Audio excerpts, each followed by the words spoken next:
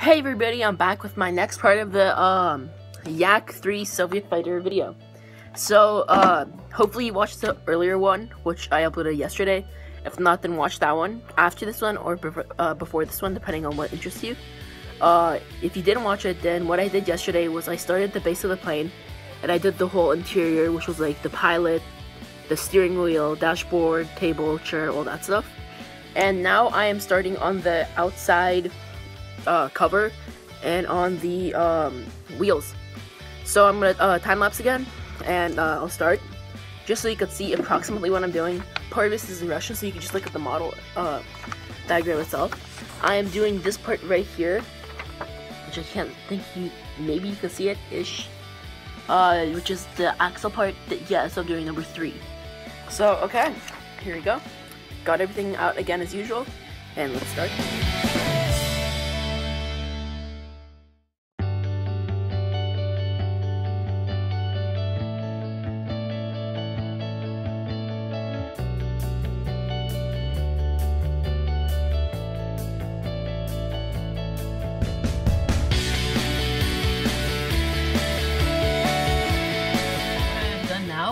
Is I have uh, attached all the pieces I need for the inside of the plane on that side and I made the propeller and now I am going to be connecting the two plane sides with the propeller in between and the uh, gliding wheel and those two pieces together to get the main body of the plane. Time lapsing again. Okay. Good job. Three. Yes, more. Okay.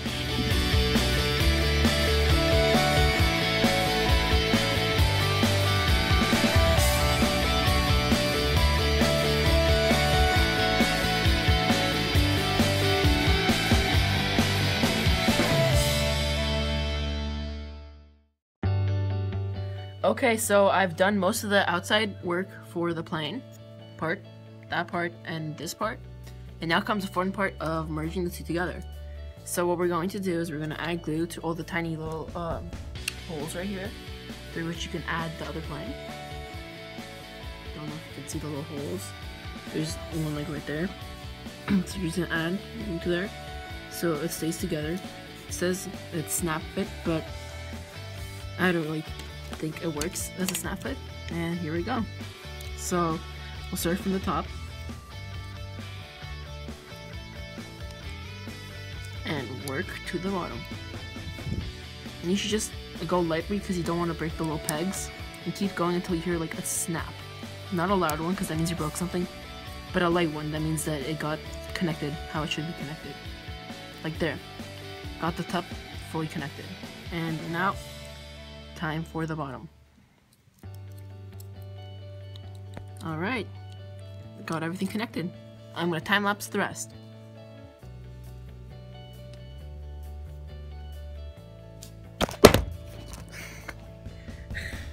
Alright, so um, now we're ready to assemble the two big pieces together. So what I'm first going to do is I'm going to add this part to the plane, like that, to cover up the uh, marks out here. So here we go, we'll add some glue. Just all around the perimeter. And now we're going to add the piece. Just like that. Snap. So it's looking like a plane already. And now, time for the awesome fun part. We are going to add this part on top of the other part, if that makes any sense. Here we go. Okay, okay. Snapping together. Alright, so we've got this part together, and I'll go into in detail gluing it in the time lapse. So, time to time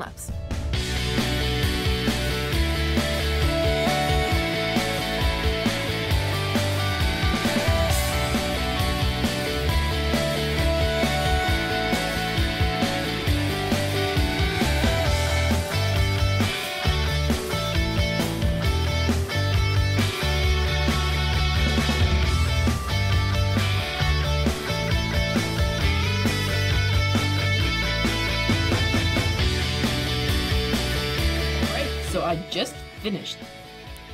This is the finished product. So here you see we have the wheels that are you can retract them in or out, which I think is pretty darn cool. Well, these ones are retracted out. Then we've got outside propeller, tail wings. It's really awesome. So, alright, so I finally finished painting it. it. Looks really awesome with the gray and dark green camo. And the bottom is light blue to blend in with the sky when you're looking up. Uh, I did the French uh, Marcel uh, Captain style ship, so the uh, top is French colors, which I think is really cool, red, white, and blue. And I made the propeller, and now I will be adding the decals, and I will be back when I've done added the decals. Alright, it is finished. Here we go. So I got those decals on, I got the red uh, star, both sides, stars on the bottom with the exhaust ports, can't really be visible there. I have the um, little decals on the propellers, and I have the nose. And that sums it up. Uh, thanks for watching. Don't forget to subscribe, like, and tell your friends. And uh, tell me if I should do another model video. Okay, thank you. Bye.